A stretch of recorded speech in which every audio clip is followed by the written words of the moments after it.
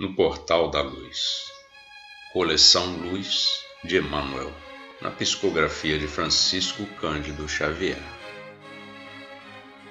No Portal da Luz. Aspiras à posse do conhecimento espírita evangélico?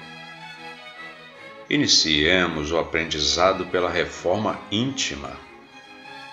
Disse Jesus o reino de Deus está dentro de vós. Descobri-lo e estabelecer as vias de acesso. Para alcançá-lo, depende de nós. Será justo suplicar o socorro de Deus nas horas de aflição e construir a existência como se Deus não existisse?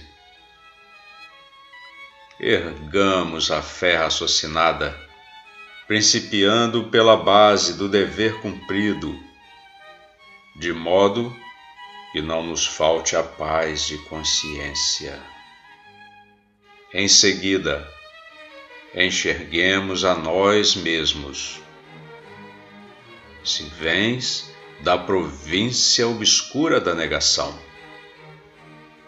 procura discernir a verdade para perceberes a divina sabedoria que te rodeia em toda parte. E começa a jornada no rumo da espiritualidade maior. Se procedes do distrito superado de outras crenças que não muito mais te satisfazem as exigências da alma. Busca o entendimento de ti mesmo, de modo a prosseguires na ascensão à vida superior. Jamais aniquilar o tesouro das horas com discussões estéreis. Se te reconheces com necessidade de mudança espiritual, atingiste a nova faixa de madureza para grande compreensão. Cada fruto aparece no tempo adequado.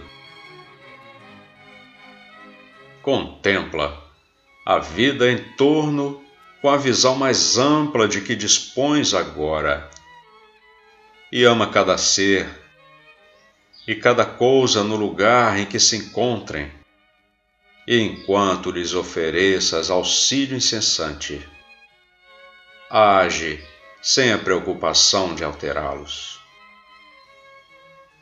Consagra-te acima de tudo à edificação do seu reino interno. Entretanto, se o anseio de perfeição te aquece com veemência, recorda que Deus nos esperou até hoje o impulso de melhoria e cooperando com a providência divina para o bem de todos, os nossos irmãos, é urgente reconhecer que nenhum de nós sabe ou pode amá-los mais do que Deus. Emmanuel